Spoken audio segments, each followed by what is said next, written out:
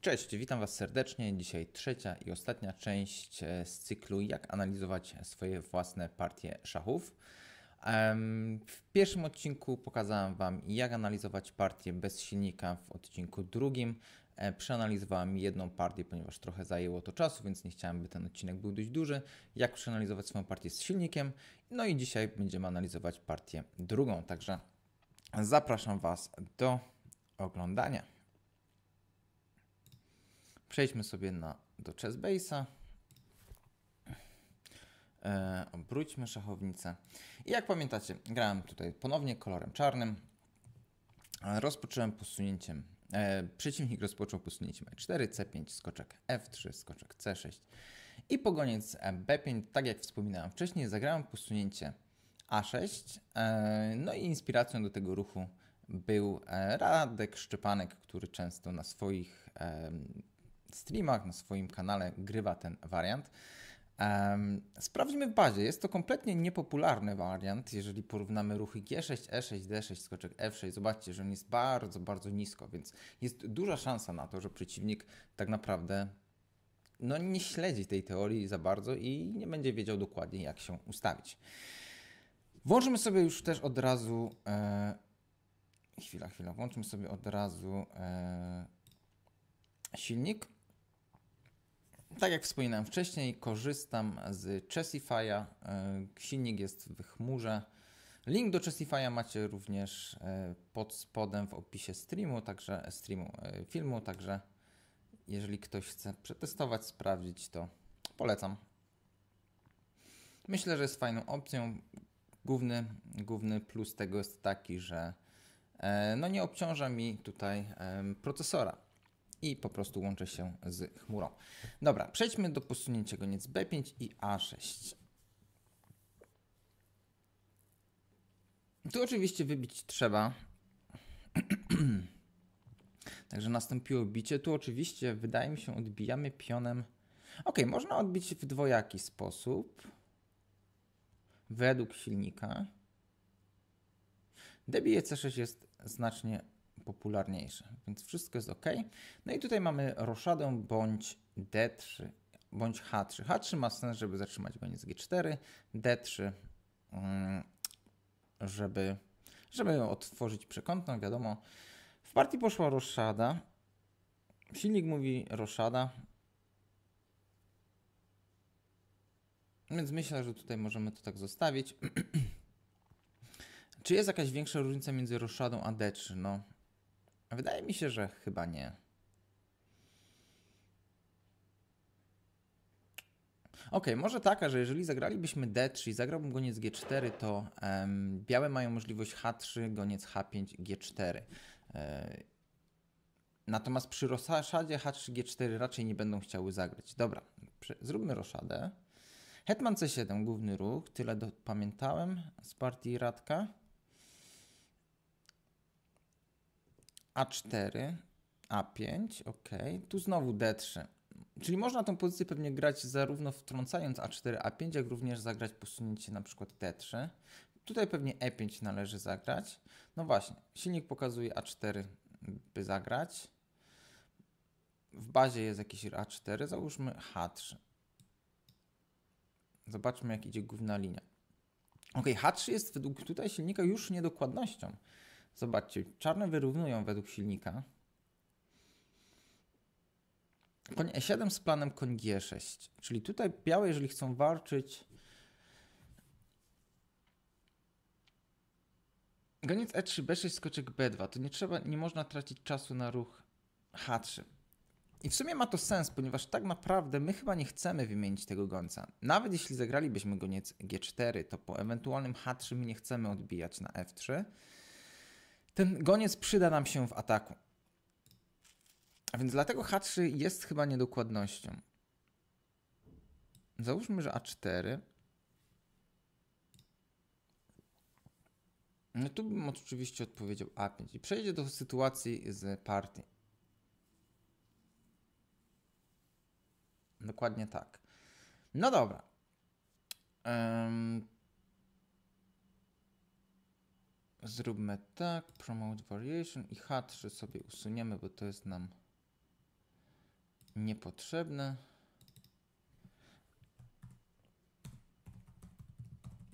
Z przejściem do tuwy partii. Dobra, A4, A5 zagrane, D3.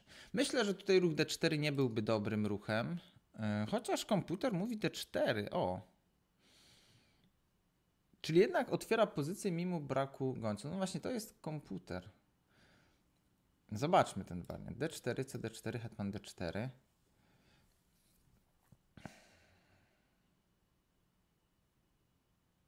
No właśnie, na pewno białe mają troszkę lepszy rozwój, szybszy rozwój, więc może dlatego D4 ma sens. Okej. Okay.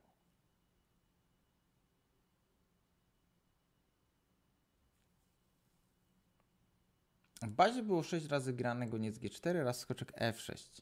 Dwa te ruchy są też przez silnik rekomendowane. Co mi się bardziej podoba?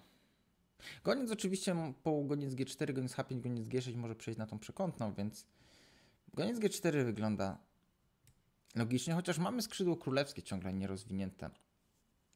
Natomiast chcemy rozwinąć tego gońca, zanim zagramy posunięcie E6, by móc wyprowadzić drugiego gońca. No dobra, goniec G4.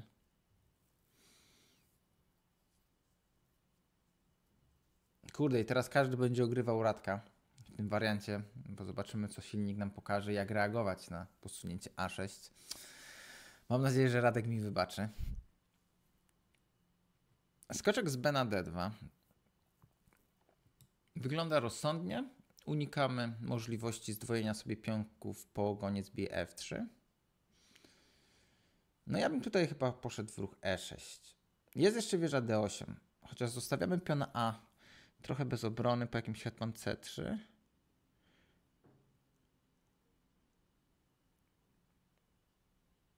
Okej, okay, robi się tutaj już dość nieciekawie, patrząc na te wyniki e, Stockfisha.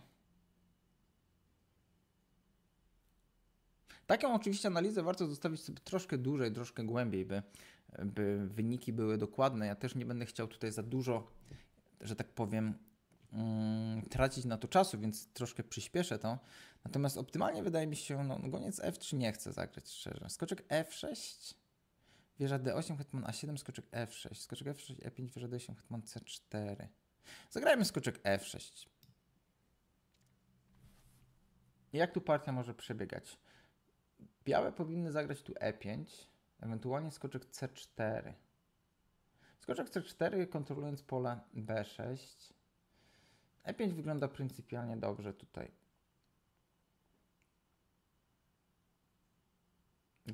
Właśnie, i teraz tak, nie możemy odejść skoczkiem na D5, bo grozi bicie na F3. Ok, to jest też idea, czyli trzeba zagrać wieża D8, to jest wymuszone. Ok, hetman zostaje na C4. Hetman A7 też jest opcją, skoczek D7. D7, hmm. No dobra, zagrajmy tego nie z E6, jest to wymuszony ruch. Zobaczcie, już się robi pozycja nieciekawa.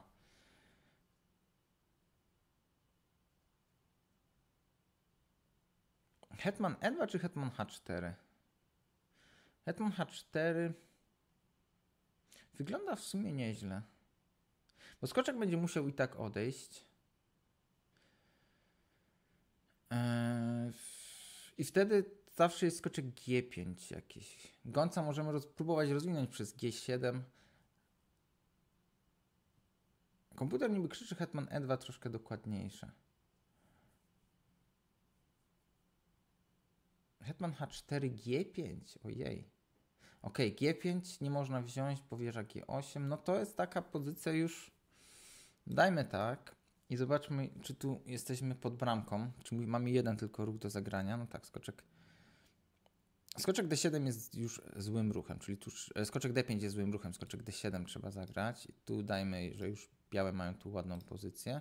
A po hetman H4 jak wygląda sytuacja? Bo jeżeli jedynym ruchem jest ruch G5, to też sytuacja jest trudna dla czarnych, a G5 też jest ruchem, który nie chcemy zagrać. Więc zobaczcie, no, okazuje się, że D4 jest znacznie bardziej mm, ruchem, który mógłby skomplikować sytuację. Tu jest również, myślę, po pan H4 ciekawa gra. Dobra, no to przejdźmy jeszcze raz. Może ja coś tutaj...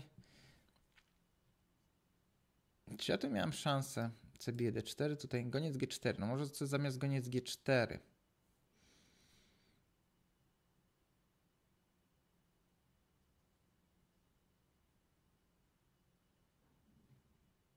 Skoczek F6. I co tutaj nam pokaże silikonowy przyjaciel? Wieża E1, skoczek D2, skoczek A3.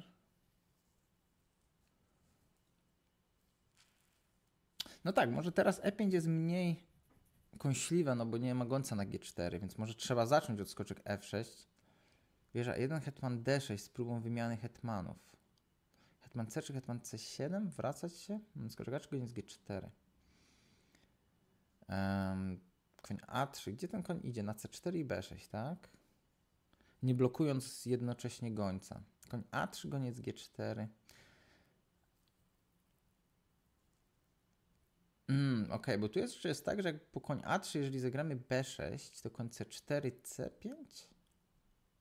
Żeby tego gońca dać na B7 albo zagrać E6, goniec E7 i dopiero B6, C5. Może tak. Tylko, że koń A3 też jak zagramy B6, C5, no to tu B5 jest słabe. Koń A3. Sprawdźmy to koń A3.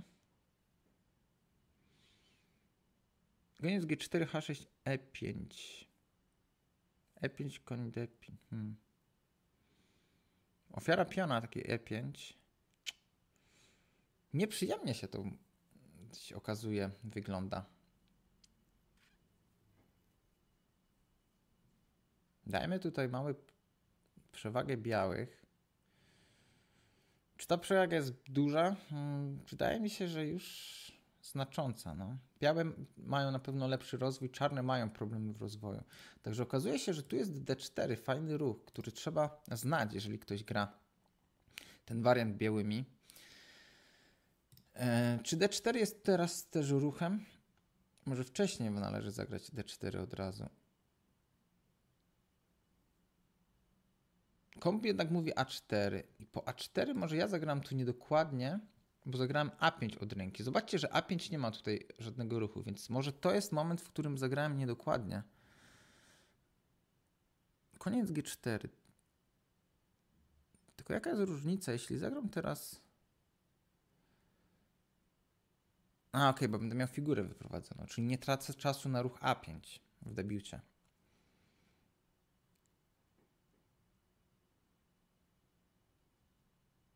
Ok, czyli to będzie kluczowy moment, żeby zapamiętać, że po A4, jeżeli bym miał kiedyś podobną pozycję, to trzeba wzmocnić to jakoś. Ten moment na pewno warto przeanalizować sobie trochę dłużej. E5 mm. się wydaje rozsądne, żeby od razu zagrać, tak? Bo to jest i tak ruch, który chcemy zagrać. No i teraz pytanie, na ile groźne jest posunięcie A5? Komp mówi D3 i my tu B6 reagujemy. A5, koń E7, D3, koń G6, koniec E3. Dajmy te A5, no bo skoro A4 gramy, to chcemy też zagrać A5. Koń E7. Pytanie, czy goniec D6? Goniec D6, D3, skoczek F6, H3. Ok, póki nie ma związania konia 7, koń G6 to ma jak najbardziej sens. D3, koń G6.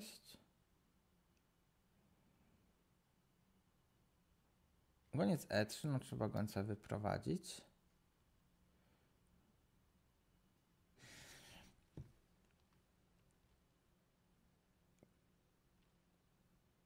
Tu będzie zawsze skoczek A3, skoczek C4, skoczek B6 i będziemy mieli zawsze tutaj dziurę. Goniec G4, H3, goniec E6. Ok, goniec G4 ma sens. My oczywiście po H3 nie będziemy bić na F3, a jeżeli nastąpi posunięcie H3, no to odejdziemy. Pytanie, czy potem skoczek G5, ale to nie, bo odejdziemy na D7 i mamy ruch F6 i wyrzucimy tego. Wyrzucimy tego skoczka, pole F4 jest kontrolowane przez skoczka, więc nie ma tak szybko biały jak zagrać posunięcia F4. Czyli tu, tu. Ja myślę, że nawet H3 nie, nie jest na rękę białym, no bo mówię, to będzie kiedyś moim celem ataku być może. No tu bym powiedział na pewno, białe mają przewagę, natomiast nie tak dużą jak w tych wariantach wcześniejszych, ale to myślę, że trzeba pamiętać, że to jest ważne do zagrania. A5 jest tu na pewno niedokładnością. Dajmy tak. No, nic innego tu chyba lepszego nie mamy, co? No dobra, przejdźmy do partii. Po posunięciu D3 zagrałem E5.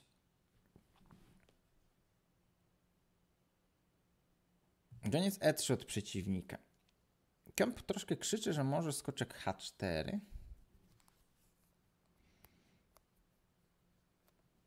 Konie H4 mi się kompletnie nie podoba. Dla białych. No właśnie, to jest troszkę, widzicie, takie szachy silnikowe, które łamią zasady, gdzie wyprowadź figury, skończ rozwój, dopiero wtedy atakuj. Nie rób tą samą figurą dwa razy ruchu, jeżeli nie musisz. E, a tutaj komputer proponuje ruch, który no jest trochę, może nie irracjonalny, ale no ustawiamy skoczka na bandzie, robimy drugi raz skoczkiem ruch, no przygotowujemy, przygotowujemy może posunięcie F4, e, chociaż patrząc na to skoczek, F, skoczek H4, skoczek F6, on chce grać skoczek A3, czyli nie chce grać od razu F4. Więc no to są ruchy stricte komputerowe, więc albo je się zna na pamięć i pamięta warianty, albo ciężko je wymyślić przy partii, bo nie umiem znaleźć logicznego uzasadnienia ruchu skoczek H4. Czemu ten ruch akurat w tym momencie powinien być zagrany? Co ciekawe, zobaczcie, jak zostawimy to dłużej, no to mimo, że na początku ta pozycja wydawała się być dużo lepsza dla białych, no to teraz te warianciki zaczynają być takie już bardziej w okolicy równości. To ciekawe. Koń H4, goniec E6, skoczek A3, skoczek F6, P3. Ok, co robi ten skoczek H4? Ok, chyba wiem. Koń H4, gdybyśmy zagrali jakieś posunięcie F6, to jest może hetman H5 i po G6 jest oczywiście skoczek bije. G6, tylko że mamy hetman F7. Więc może to jest troszkę związane, żeby ten hetman mógł wyjść na H5 z taką ideą. Dobra, goniec E3 przeszło na pierwsze miejsce, więc zobaczcie, troszkę dłużej zostawiliśmy i tutaj komputer jakby zmienia zmienia jakby e, tok rozumowania. To znaczy, powiem tak, no goniec E3 wydaje się być według mnie jak najbardziej dobrym ruchem, także Zagrajmy tak, tu możemy wstawić również rekomendowane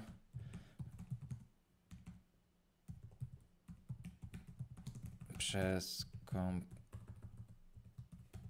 albo komputer, tak. Przez komputer. Goniec E3.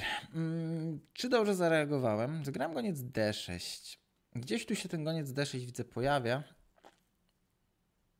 B6 niby troszkę dokładniejsze. Wiadomo, zależy też jak długo zostawimy to, więc tu myślę, że nie będziemy nad takimi już detalami rozwodzić.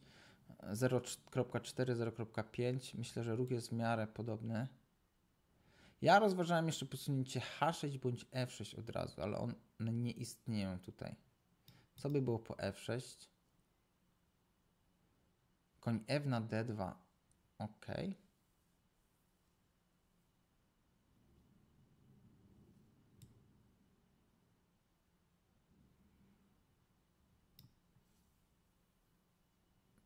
Dobra, zostawmy tu tak. Po H6.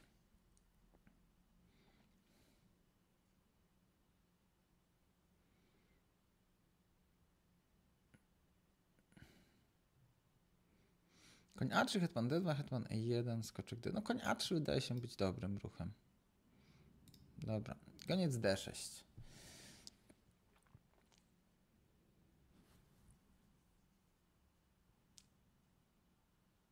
Skoczek z B na D2. No, wydaje się być sensownym ruchem, bo wyprowadza figurę.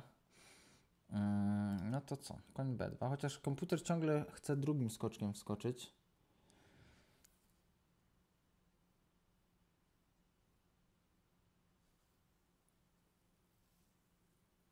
Hetman e7 dokładniejszy niż skoczek e7. Czemu? Ok, idea jest taka, że po hetman e7, skoczek c4 mamy ruch goniec c7, czyli chodzi o to, żeby przestawić gońca na c7, który będzie kontrolował pole b6. Um, jednocześnie w sumie zabieramy pole... Ok, to jest może ważny moment. Ja zostawię troszkę chwilę, niech to jeszcze pomieli. Hetman e7, skoczek c4, goniec c7, goniec g5, skoczek f6, czyli nie gramy przez f6, tylko skoczek f6, goniec h4 i idziemy w krótką roszadę. A nie, h6, g5, ok.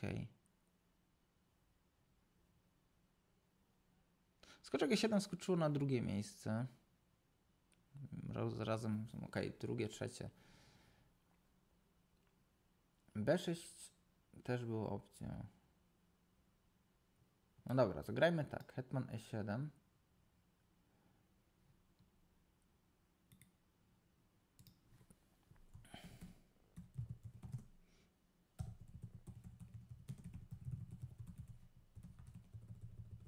Dokładniejsze jest. Dobra, według komputera dokładniejszy jest Hetman e7. Z ideą taką, że goniec idzie na C7. Ok.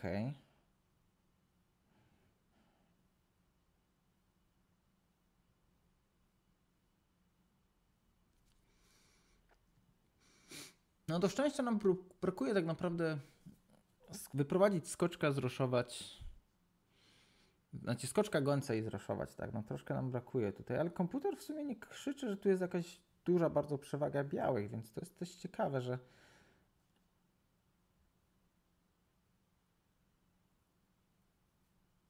Dobra, zostawmy też, żebym celowo nie będę przedłużał tutaj jakoś tej analizy, ja sobie jeszcze ją pewnie głębiej zrobię, natomiast nie chcę, żeby to wideo miało 3 godziny.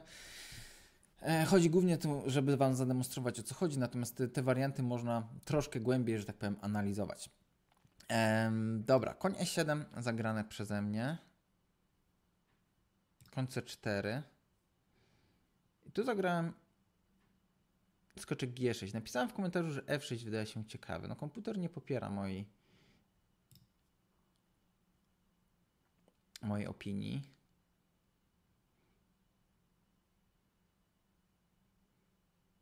Skoczek z F na D2, goniec E6, F4, czyli dążysz szybciutko do F4. A okej. Okay. Jeżeli wziąłbym na F4, to bicie na D6 i odbicie gońcem. Mhm. To zróbmy tak. Pyk. No goniec E6. Wyprowadzamy gońca. No i teraz F4 mówi, że ciekawy ruch. Dobra, zróbmy tak. To skasujmy. Tu dajmy taki pytajnik. F4 wykrzyknik.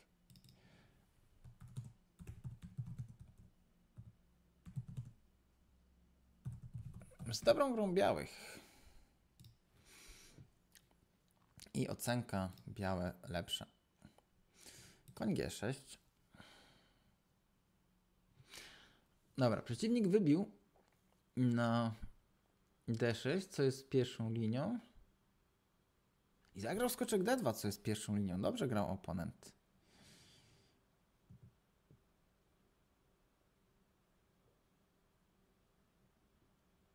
Dobra, moment już, e, który ja zagram posunięcie B6. Pokazałem jakiś wariant F6, skoczek C4, hetman E7. Zobaczmy, przeanalizujmy go. F6. Faktycznie, skoczek C4. I teraz tak, po hetman E7. What? A, okej, okay, dobra, chwila. Gdybym zagrał ten... On mówi hetman F8, no jest to komputerowy ruch, irracjonalny. Dobra, hetman e7. Skoczek b6 prawidłowo. Ja tu wskazałem wieża b8. No, podobne jest jak wieża a6. I zobaczcie, hetman d2. Faktycznie ten wariant wskazałem. Ok, czyli liczenie tutaj wydało się albo zrozumienie dobre. Natomiast nie dałem oceny, nie wiem czemu, więc wydaje mi się, że ta pozycja jest na pewno bardzo dobra dla, dla białych. Komputer mówi, że jest, no, ma decydującą przewagę. Być może tak jest, natomiast yy, ja też zawsze staram się być ostrożny z tymi ocenami, ponieważ yy, komputer jest komputer i on wyliczy wszystko, natomiast my ludzie na pewno białe mają tutaj przewagę i to dobrą, natomiast czy decydującą i wygrywającą, no to jeszcze myślę, jest chwilę do zagrania. Chociaż patrząc na to dłużej grozi posunięcie chyba hetman A5, jak również hetman e, C3 z atakiem na piona C5, więc być może jest tu faktycznie decydująca przewaga. Czyli F6 byłoby błędem. Zagrałem B6. Czy on coś lepszego wskazuje zamiast B6? Mówi goniec E6, żeby zagrać. Chociaż B6 jest drugą linią, trzecią, gdzieś tu się pojawia te B6. Goniec E6. Ok, czego ja się tutaj obawiałem, że nie zagrałem goniec E6? Hmm. Czy to było od razu skoczek C4?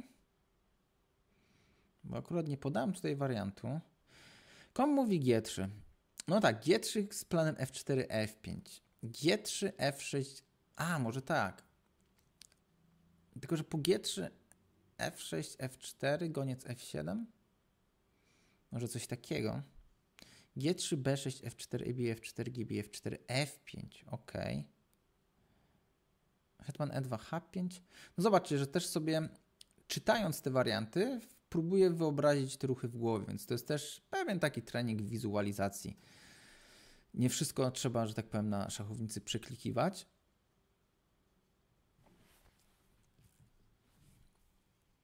Ruchy wszystkie białych są w miarę podobne, więc e, tu możemy dać, że po prostu G3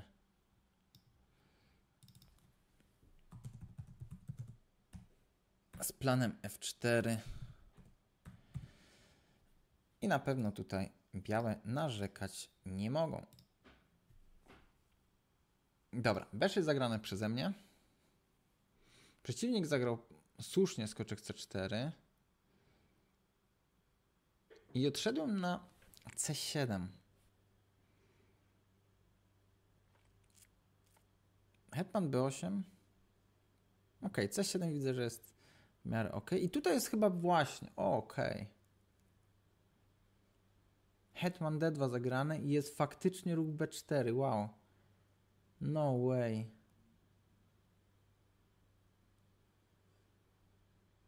Dobra, no to tak. Hetman D2 jest na pewno ruchem ok, natomiast niedokładnym. Tu jest piękny ruch B4. Damy dwa wykrzykniki, a co? Uderzenie w taki punkt, który jest świetnie broniony. Pozycja się rozsypuje. Jedynym ruchem jeszcze próbującym trzymać tę pozycję to jest B5. Ok, w ogóle nie przyszło mi do głowy ruch B5.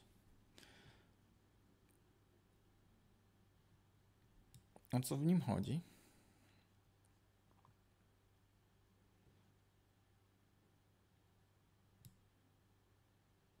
A bije B5. C bije B5. Koń bije tu. Ok, jest jeszcze wieża A5 do rozważenia. Ok, tu. C bije B4 jedyny i skoczek B3, tak? Taka rzecz, taka historia. Trzeba wybić. Hetman bije. No i okay, bez dwóch zdań. Białe tutaj są znacznie lepsze. Trzeba zagrać roszadę. I mamy tu bardzo dużo ruchów, które są spoko. Hetman B2 na przykład z planem wieża A1. I nacisk na, punkt, na słabe pionki. Ok, top, ta pozycja na pewno jest bardzo dobra. Um, promote variation. AB4 jest na pewno dużym błędem. A5, BBA5, tak. I CB4 oczywiście goniec B6.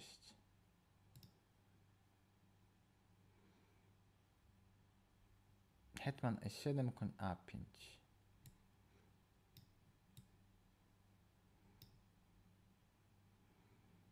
I tu myślę, białe też bardzo dobrą pozycję mają. Dobra, Hetman D4, wow, czyli dobry, dobry ruch. Hetman D2 zagrany, zagram goniec E6, poprawny Hetman C3. No jest gdzieś tutaj ten ruch Hetman C3, B3. Ok, B3, czyli też ruch, który sugerowałem.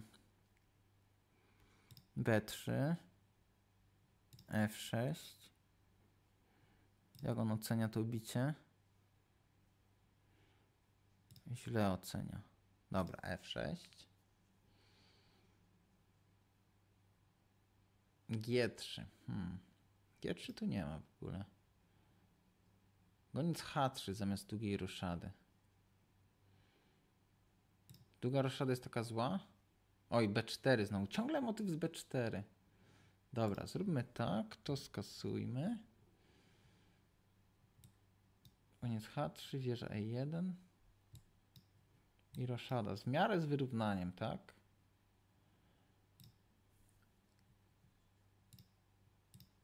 Jeżeli byśmy zrobili roszadę, co jest błędem, to znowu B4. I tutaj fajna pozycja białych. Pyk.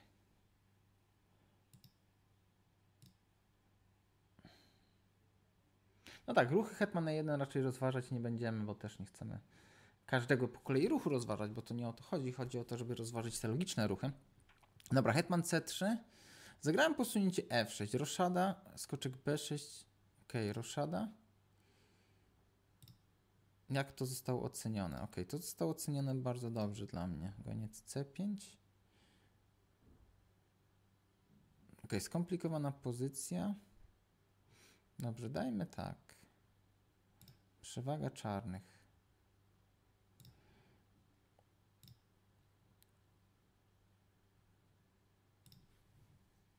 F6 spoko. Jednak F3. Wydawał mi się ten ruch dość pasywny. No to szacunek dla oponenta. Dobra, gdybym po G3 zagrał roszadę, sprawdźmy ten wary. Jednak roszada. Ja dam znak zapytania. Okazuje się, że roszada jest ruchem dobrym. Ok. White. Co jest po tym? Pan B6, goniec tu. Ok, czyli nie do końca dobrze tutaj oceniłem to. Tu hetman C7 komp mówi.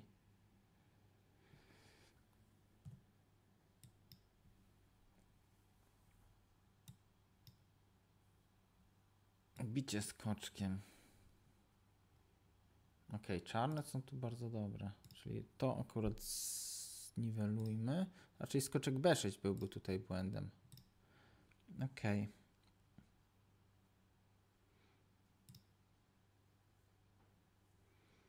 Czyli tutaj trzeba by zagrać coś innego, nie wiem, F3. Ok, ale wszystko jest równe, więc dajmy tak, że ta pozycja jest równa. I gdyby nastąpił taki wariant skoczek B6, to Ok, F3 zagrane.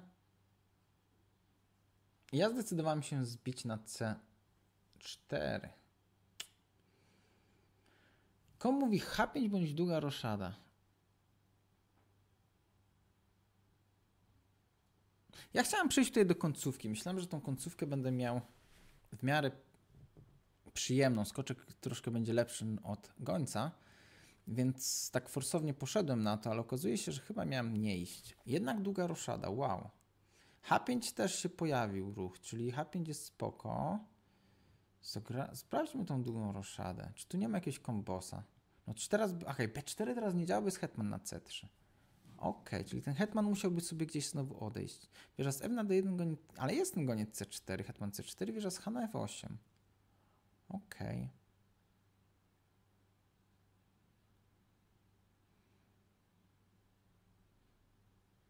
Wieża z F, co robi wieża na D1? Wieża z A na B1? Hetman B3, goniec C4, hetman C4, król B7, C3. Bardziej ten plan mi się podoba. Tylko hetman B3 blokuje też ruch B4. Hetman D2 nie można, bo goniec C4. Hmm. Nie rozważyłem tego ruchu w sumie. Znaczy inaczej, pewnie przeszedł mi przez głowę, bo to jest główny plan, tylko z jakiegoś powodu nie liczyłem tego ruchu.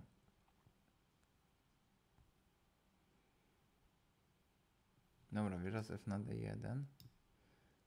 Czy goniec C4 jest jedyne? No nie, mamy tu dużo możliwości.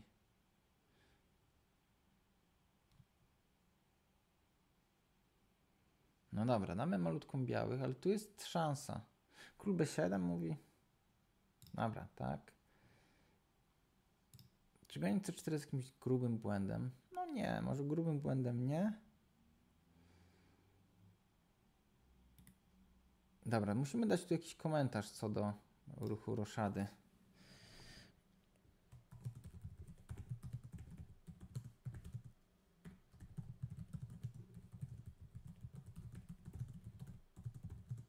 Z jakiegoś powodu nie wziąłem tego ruchu w tym momencie pod uwagę. Eee...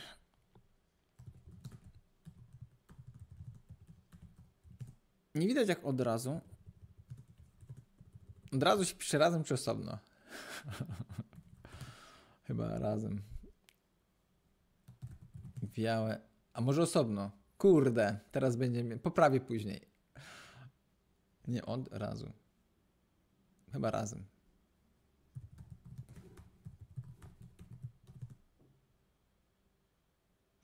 Nie wiem, jak mogą wykorzystać. Może nie wykorzystać. Atakować.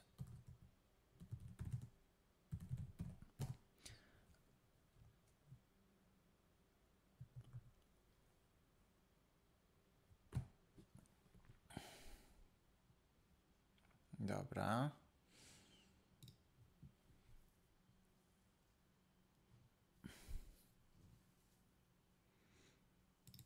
Zróbmy tak, wyciągnijmy to. Czekajcie, bo to muszę. Źle mi się to zrobi. Trzeba zaznaczyć. Pyk. Dobra, bo chciałem, żeby to było po roszadzie. Um, dobra, zgramy C4, hetman C4. Tu hetman F7 myślę, że trzeba zagrać. I, i B3. Ok, hetman C3 roszada rozważałem. Hetman C3 roszada jest poprawne. B3 jest też możliwością. No i po B3 oczywiście nie biłbym, bo odbije białe posunięciem B bije C3. Po B3 bym zagrał roszadę. I król F2, wow, taki komputerowy ruch. Żeby tego króla już do centrum cisnąć. No G3 wydaje mi się też sensowne.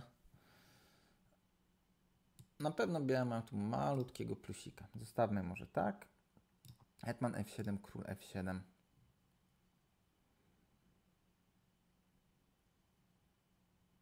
G3 bierze do 8. No dalej plan z G3. F4. Obiektywnie pozycja wydaje się być równa. Czy król e7 w ogóle było rozważane?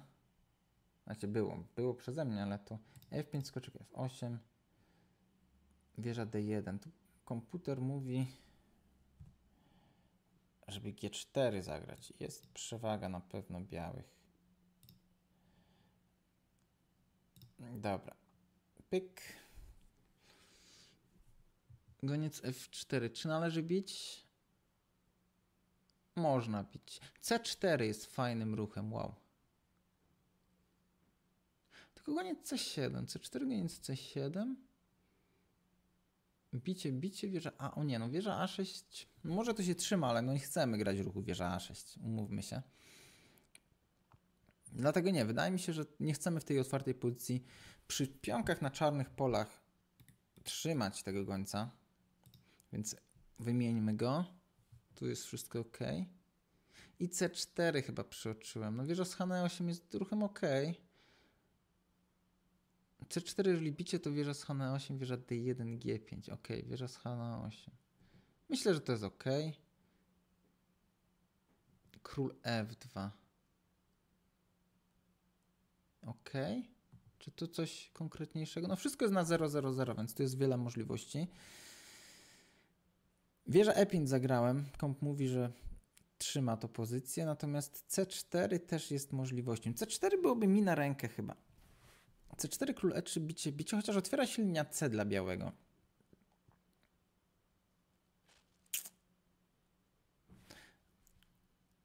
C4 król E3, tak? A jeżeli nastąpiłoby bicie? No way G5. No dobra, ale te różnice znowu są mikroskopijne, więc wieża z A na D8, król E3. Nie dałem oceny z jakiegoś powodu. Ok, jest to równa pozycja, tylko myślę, jak odbić tego piona. No może tego piona trzeba... No właśnie, jak odbić tego piona? No może ruchem C5, żeby ustawić wieżę na polu D5, e, na polu, tak, na polu D4 i po jakimś wymuszonym B3 zawsze mogę się zdwoić, wejść na dwójkę. Może szukamy takiej aktywności. No H5 raczej nie chciałbym tu zagrać. C5 myślę, że tu można by było zagrać. Pytanie, czy ma C3, B3 takie ustawienie. No ale okej, okay, oddaliśmy tego piona.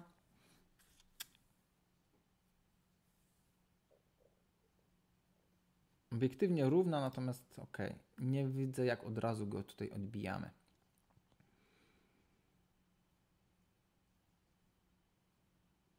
Wieża E5 zagrane zamiast tego. Król E3. H6, wieża D8, wszystko jest równiutkie. Król E6. To, to szukamy teraz jakiejś niedokładności z mojej strony bądź przeciwnika. Wieża z A na 1. Pierwsza linia, znaczy, ok, pierwsza, jeden z tych wszystkich ruchów. I zagrałem wieża B8, też ok. Można było B5? Czy nie? No można było. Tu komputer może ciągle nam krzyczy, że będzie pozycja równa.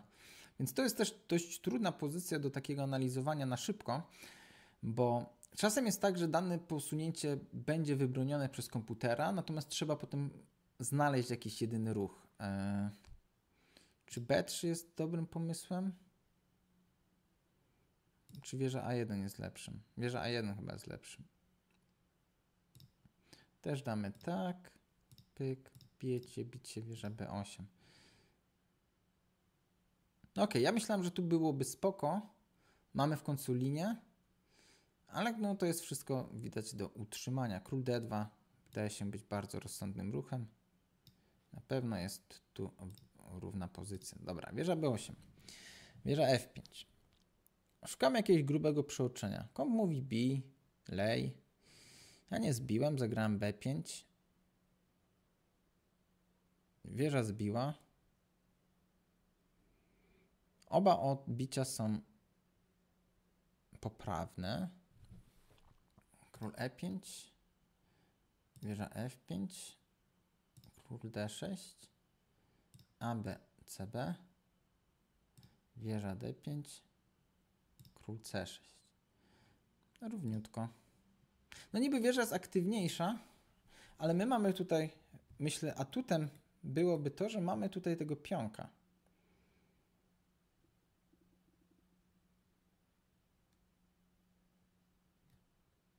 Dobra, wieża wziąłem jednak pionem. Król D2. Wieża D8. Wieża A1. I B4. Ok, B4 jest to ruch, który na pewno zamyka pozycję. E, I więcej jak remis tutaj nie mam. Taki ruch oczywiście widziałem, ale no nie chciałem go zagrać. Wieża A8 mm, no zagrane, natomiast jak wieża F8? Czy trzeba zagrać król E2? No nie, okazuje się, że nie trzeba, więc dużo jest możliwości. Też król E2 niech będzie remis. Nie ma oczywiście to sensu wpisywać każdego dokładnie warianciku, tylko te kluczowe. Maybe A4. Król C3, dobry ruch. Wieża B8. Wieża A1. Ja dałem wykrzyknik ruchowi wieża E2. Ten ruch przeoczyłem z tego co pamiętam. Wieża A1, wieża F8.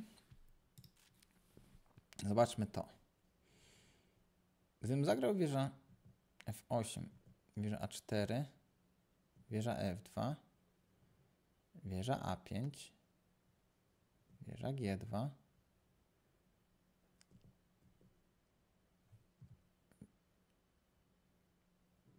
C5, król D6. Wieża A5. Wieża H2. Ok, wariant ten jest według kompa remisowy. B4, wieża 8, wieża 7, czyli wszystko tutaj remisuje. Natomiast są jakieś praktyczne szanse. Dwa wolne, dwa wolne zdwojone, piony, zdwojone, złączone piony. E, dodajmy jakiś komentarz.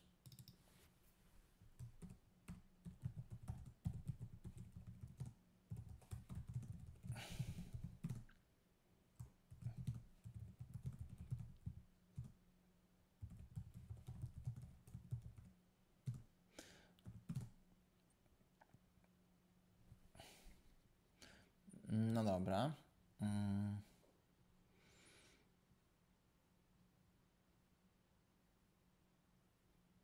Praktyczne szanse podkreślmy dla czarnych.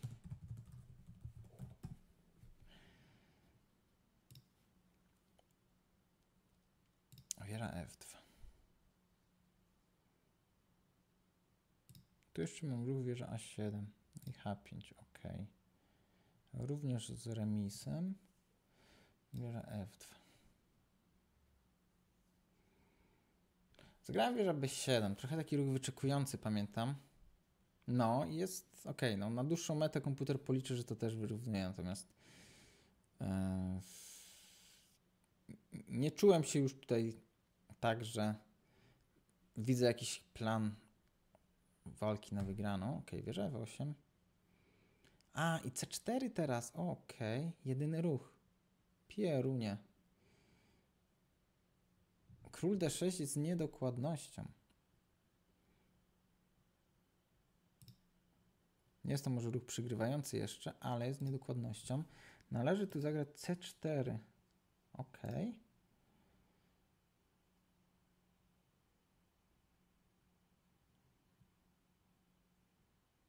A, taki motyw, że po DC4 jest jedyny ruch wieża F7. Ok. I król nie ma jak tutaj przejść. W ogóle ta pozycja będzie zablokowana przez pionki ustawione na tak, że kontrolują w sumie czarne piony. Zagramy C5 po wymianie wież i tu nie ma jak przejść tym białym królem. Ok, nie wdając się teraz, bo tu można dać szacha, można odejść. Jest to pozycja remisowa. To jest też fajna fajne, fajna pozycja do na przykład dokładnie ta do jako zadanie do liczenia. Chociaż fajnie by było, gdyby C4 było tylko jedynym ruchem, który remisuje, a nie na przykład, no zobaczymy, możliwe, że te inne ruchy, król D6, które zagrałem, przegrywają, na, jak się dłużej zostawi komputerowi i on znajdzie tutaj sposób na zwycięstwo. Natomiast wieża E7, które wziąłem pod uwagę, przegrywa, a ja mówiłem, że wieża 7 mogą być ciekawe. Chociaż nie wiem, czy przegrywa, zostawmy to chwilę dłużej. Liczyłem ruch wieża A8. Wieża F7. A, i z tym wariantem tutaj. Pyk, pyk, pyk, pyk. I dalej z H5, tak. Natomiast tu jest na pewno niedokładnym ruchem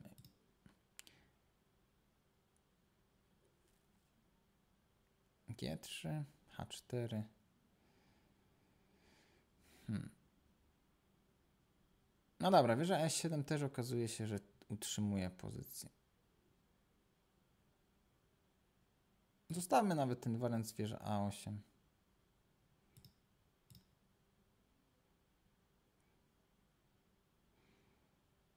Dobra, niech tak będzie. Król D6. Wieża D8 zagrane przez oponenta. Wieża D7 mogłem jednak, a ja liczyłem tą pionkówkę i wydawało mi się, że ją przegrywam. Zaraz chcę to zobaczyć.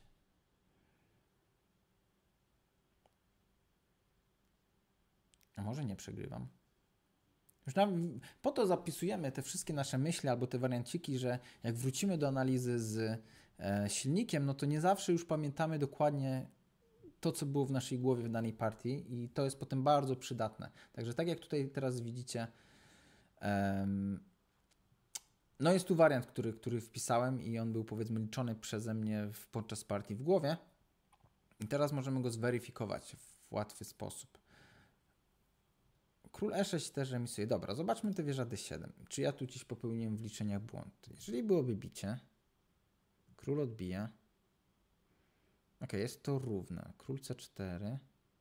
Trzeba zagrać król D6. Po C3. G5. G4. Tak, G4 jest jedynym ruchem. H6 bądź A3 od razu, ok. A tu. Jedynym jest A3. Wybija 4. Jedynym jest A4, no tak. D4. Dziabnięcie, dziabnięcie. Ok. I zobaczcie, w tym momencie popełniłem błąd w liczeniu. Ja liczyłem, że trzeba dziabnąć. A okazuje się, że trzeba zagrać król E6. To jest jedyny ruch.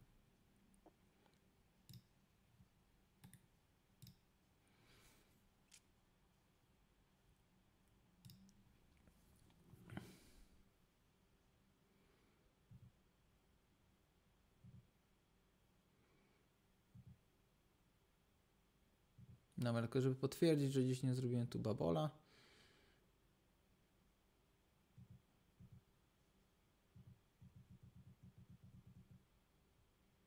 Ma 18. Białe to wygrywają. Król E6. No i tak, nie chcemy na pewno zagrać D5, bo wtedy białe przegrywają.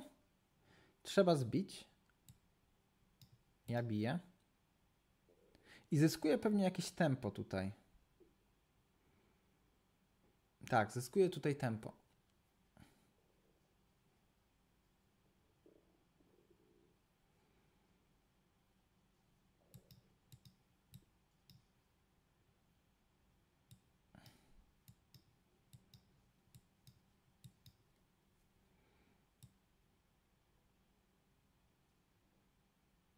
No dobra, jest to pozycja równa. Baza nam już um, pokazuje, że po każdym odejściu B3, B4, B5 pozycja jest równa. Ok, czyli widzicie, mała niedokładność gdzieś tam na głębokości w liczeniu w tym wariancie, że król E6 jest dokładne, dokładniejsze. Dobra, król E6 zagrane. Przeciwnik wieża C8. Król D6. Czy tutaj wieża F7 była opcją? Okazuje się, że nie. Wieża C6, król D7. Wieża C5, wieża F2. Wieża E5, wszystko główna linia. Pyk, pyk. No wieża A5, wieża H2 i wieża A7. Białe wygrywałem. Też nie dałem oceny, więc warto ją tutaj dodać. Tu dajemy znak zapytania. Czyli dobrze, że nie ryzykowałem. No i powierza D8 odejście królem i powierza A8 powrót. I partia zakończyła się remisem. Dobra, co możemy tutaj jako podsumowanie dać? Hmm. Zaryzykowałem na pewno grając debiut, którego kompletnie, albo wariant, którego kompletnie nie rozumiem.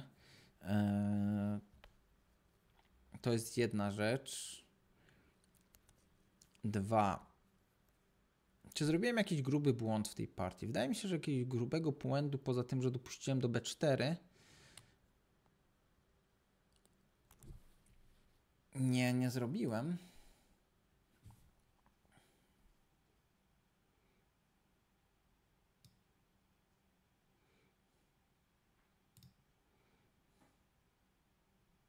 Generalnie tak, no dokładność może niektórych ruchów, ten skoczek E7 według hetman E7 E, to nie było za dokładne. No i tu też ruch A5 według komputera też nie był ruchem dokładnym.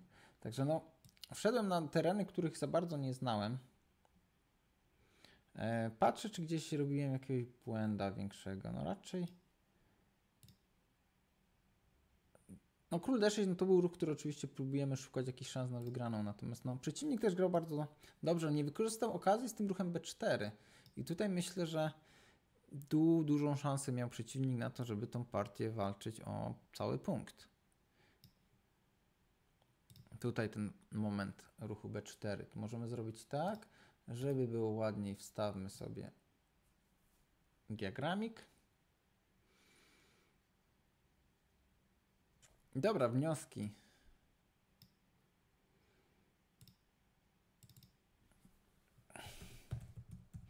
Wnioski.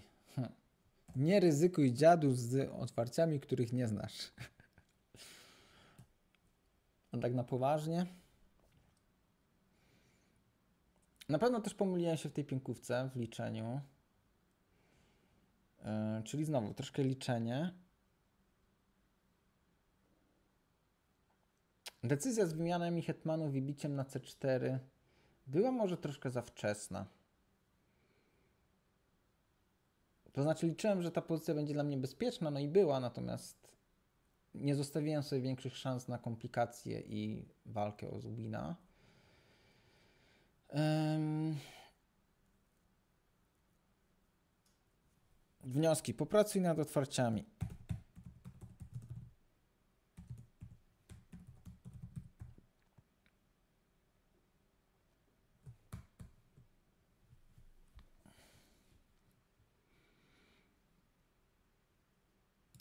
No dobra.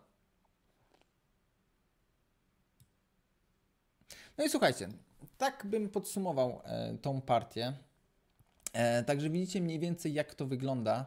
E, ważne jest, jeszcze raz to powtórzę, żeby robić najpierw analizę samemu i dopiero potem z komputerem. Nie ma nic złego w tym, żeby pracować z komputerem, ponieważ jest to, myślę, po pierwsze bardzo cenny sparring, może nie sparring partner, ba, ba, ale bardzo cenna informacja dotycząca tego, jak nasza partia mogłaby przebiegać i mamy po prostu jakby pod ręką takiego arcymistrza, który jest w stanie Ci e, no, pokazać bezbłędne warianty, tak. Więc to jest, to jest cenne, natomiast trzeba, myślę, do tego podchodzić umiejętnie i najwięcej wyniesie się wtedy, kiedy sami zrobimy tą analizę i potem porównamy naszą analizę z wynikami. Z kim się zadajesz, takim się stajesz, więc też obcowanie z takim stockfishem nie znaczy, że staniecie się stockfishem, ale po prostu będziecie też widzieć, jak w cudzysłowie stockfish myśli, czy tam silnik myśli i no, będzie się też nabierało pewnych tych nawyków, może nie tyle, że komputerowych, natomiast dokładności, przede wszystkim dokładności i w pozycjach, w których widzicie na przykład, tak jak ja przeoczyłem ruch B4 w, swoich, w, swojej, w swojej partii tutaj, być może dzięki takim analizom człowiek będzie bardziej zwracał uwagę na to, że ok, mam słabość, a słabość jest atakowana raz i pośrednio drugi raz, no i taki ruch może wtedy dużo łatwiej przyjść do głowy, tak? Także, a gdybyśmy naprawdę nie zrobili takiej analizy, no to ten motyw w ogóle by mi do głowy nie przyszedł e, i w następnej partii być może bym go ponownie podstawił, że tak powiem, więc e, naprawdę analiza własnych partii jest bardzo istotna i zachęcam Was do tego. E, w komentarzu oczywiście zostawcie wszelkiego rodzaju pytania, które macie. Dajcie znać w ogóle, czy ta seria Wam się spodobała, co o niej myślicie. No i słuchajcie, widzimy się na streamach i w następnym wideo. Dziękuję Wam za uwagę i do zobaczenia niebawem. Trzymajcie się, miłego dnia, cześć, cześć, cześć.